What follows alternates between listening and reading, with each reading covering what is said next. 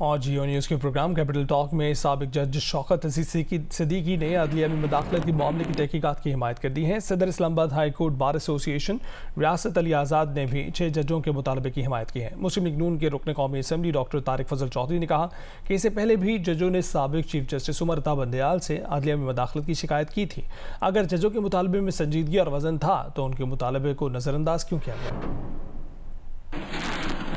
आज जो मेरे इन साथी जजेस ने जो शिकायत की है, ये बेसिकली इट्सल्फ मेरी विंडिकेशन है और मेरे उस चीज़ को सब्सटेंशिएट कर रही है जो मैंने 21 जुलाई 2018 को की। अब जो इनका मुतालबा है, इसकी आप हमायत करते हैं।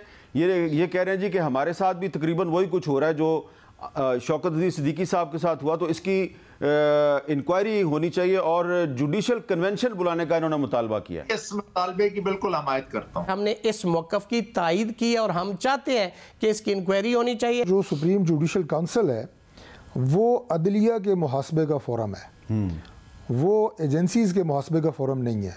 कि इससे पहले चीफ जस्टिस उमर अता बंदयाल साहब को भी शिकायत की गई। उस वक्त जो है जस्टिस काजी फायजीसा साहब भी मौजूद थे। फिर जो हाई कोर्ट के चीफ जस्टिस साहब हैं, उन्हें भी की गई। अगर इसमें इतनी संजीदगी और वज़न था, उसे पहले क्यों नज़रअंदाज किया?